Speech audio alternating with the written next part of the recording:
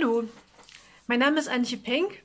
Ich äh, bin Schriftstellerin im Landkreis Anhalt-Bitterfeld, aber auch in Wittenberg, weil eigentlich stamme ich aus Bitterfeld, aber momentan lebe ich in Kemmenberg im Landkreis Wittenberg. Ich schreibe schon ziemlich lange Texte und Geschichten und äh, heute möchte ich Ihnen mein Buch vorstellen. Es ist ein Krimi.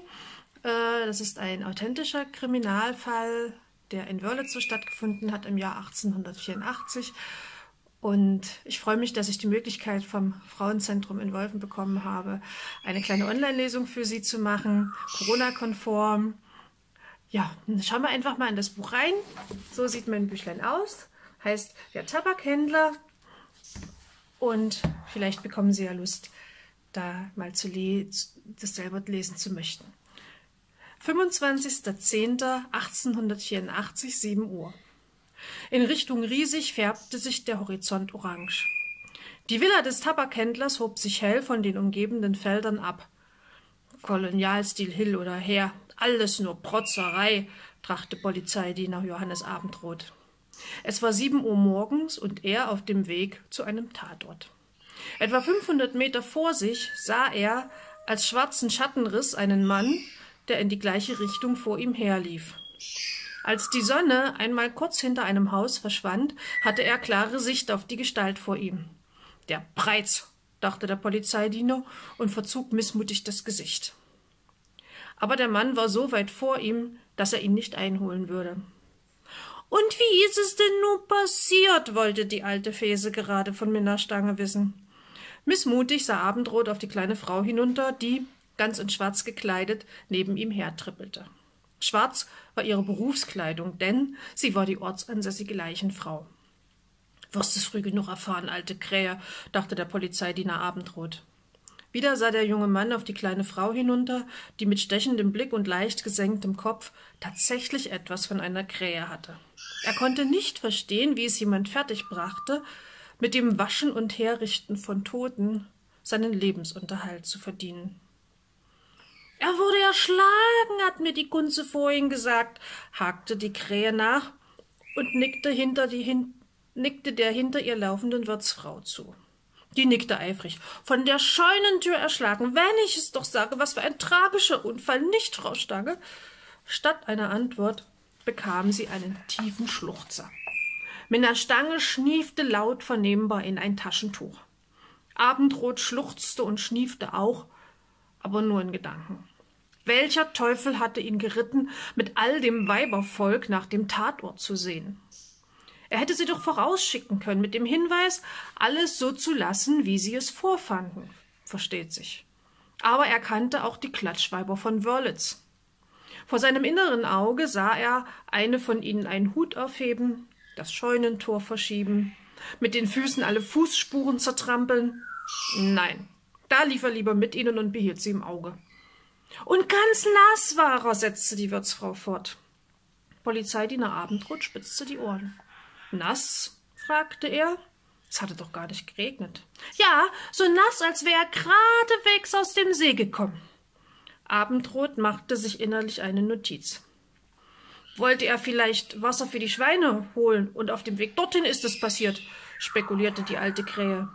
Ihre Spekulationen waren verrufen, weil sie ganz von allein zur reinen weißen Wahrheit wurden, von der sich die Bewohner der kleinen Stadt Wörlitz in keinster Weise abbringen ließen. Überhaupt war die Leichenfrau die beste Quelle für Klatsch und Tratsch jedweder Art.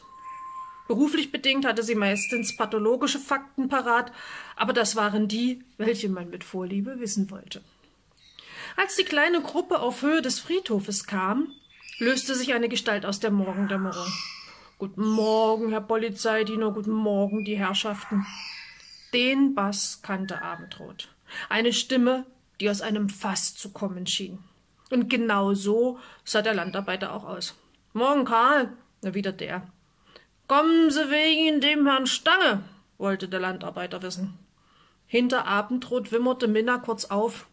Ist ja auch kein leichter Gang, mit der Polizei ins eigene Haus, um die Leiche des Ehemanns zu begutachten, dachte der Polizist. Laut sagte er, Todesfälle machen bekanntermaßen schnell die Runde.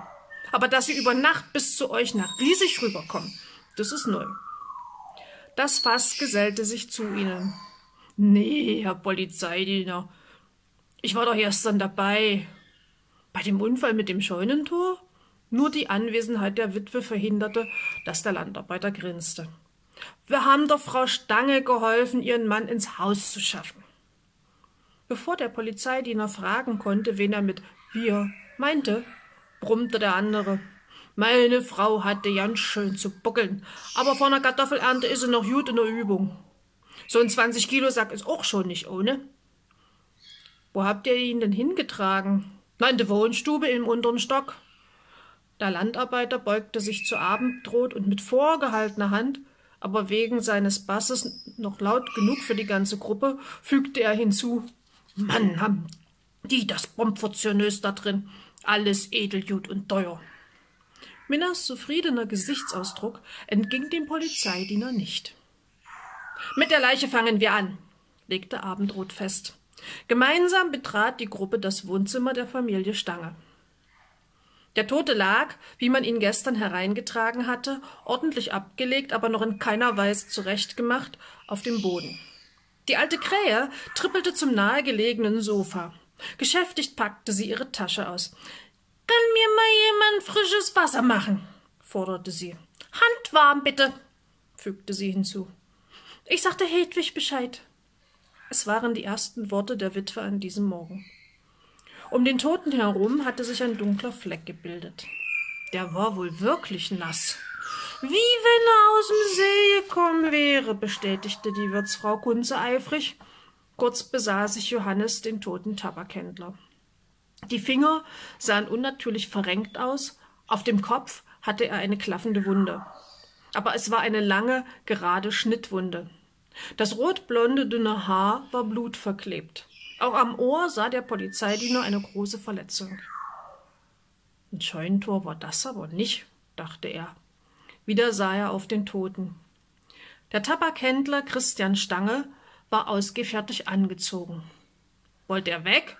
fragte Abendrot die Witwe, die gerade mit dem Dienstmädchen eintrat. Sofort hatte Minna wieder das Taschentuch vor der Nase. Er, er, er wollte mich doch abholen, aber der ist nie angekommen. Stattdessen. Tränen quollen aus ihren rehbraunen Augen, und sie drehte sich sehr kokett um, damit man den lauten Schnieper wenigstens nicht mit ansah. Noch einmal ging der Polizeidiener um den Toten herum. Geht er nicht mit Stock und Hut aus? Hat jemand den Stock gefunden? Minna schaute erstaunt die Wirtsfrau an, diese sah zum Landarbeiter. Der hob die schweren Schultern, dann schüttelten alle drei die Köpfe. Der Polizeidiener Abendrot bückte sich und befühlte die Westentasche. Die Uhr fehlt auch. Minnas Rehaugen wurden noch größer, als sie so schon waren. Nee, eigentlich ging er immer vollständig angezogen aus. Der war doch ein Weltmann. Abendrot wusste, dass der Tabakhändler in Übersee gelebt hatte. Aber vielleicht hat er sie vergessen, er war in letzter Zeit etwas zerstreut. Die Krähe steckte ihre spitze Nase zwischen den Polizeidiener und Minna. Der Tote muss auf den Tisch, sonst kann ich nicht richtig arbeiten, krächzte sie. Bin schließlich keine zwanzig mehr und von der ganzen Bückerei krieg ich noch einen Buckel. Abendrot sah auf die kleine schwarze Frau herab. Sie hatte die Hände wie Flügel auf dem Rücken gefaltet und stand vornübergebeugt über dem Toten. Mit dem Kopftuch, dessen Dreiecksspitze auf dem Rücken lag, und dem langgezogenen Hals, der in der schnabelartigen Nase auslief, machte sie den Eindruck, als würde die Krähe gleich anfangen, die Leiche anzupicken. Vor dieser Leichenflatterin musste der Polizeidiener den Tabakhändler dringend bewahren. Na, nur die Herren! Sie sah schräg nach oben zu ihm auf, als fühle sie sich in ihrem Geschäft gestört von seinem Blick. Ich hab nicht den ganzen Tag Zeit. Würden die beiden Herren so nett sein, den Toten auf den Tisch zu heben? Es war keine Frage, es war ein Befehl. Wer auch immer auf dich wartet, hat Zeit, dachte Abendrot. Aber er sagte es nicht. Stattdessen sagte er, nichts da. Der Tote wird nicht angefasst. Er bleibt, wo er ist, und vor allem bleibt er, wie er ist. Erschrocken sah die Witwe ihn an. Die Augen der Leichenfrau wurden schmal. Und wie soll ich ihn dann zurechtmachen? Hier wird nichts zurechtgemacht. Der Tote geht ins Gericht. Das sollen sich zuerst die Fachleute ansehen. Aber Herr Abendrot, wandte die Wirtsfrau ein. Was soll das denn? Minna presste sich erschrocken das Taschentuch vor den Mund. Was, was sind für Fachleute? flüsterte sie dahinter hervor. Der Polizeidiener richtete sich zu voller Größe auf. Das war nicht eben viel, nur 1,69 Meter. Aber gerade wegen dieser 1,69 Meter musste er sich aufrichten, denn sonst, so war er sich sicher, nahm ihn in seiner Amtswürde niemand ernst, zumal er noch recht jung war. Ich weiß nicht, was hier letzte Nacht passiert ist, aber ein Scheunentor hat deinen Mann nicht erschlagen, Minna. Wenn das ein Unfall war, dann muss die ganze Scheune hinterhergekippt sein. Frau Fese, Sie lassen den Toten, wie er ist. Alle kommen jetzt mit. Ich schaue mir mal an, wo der Tote gefunden wurde. Vielen Dank.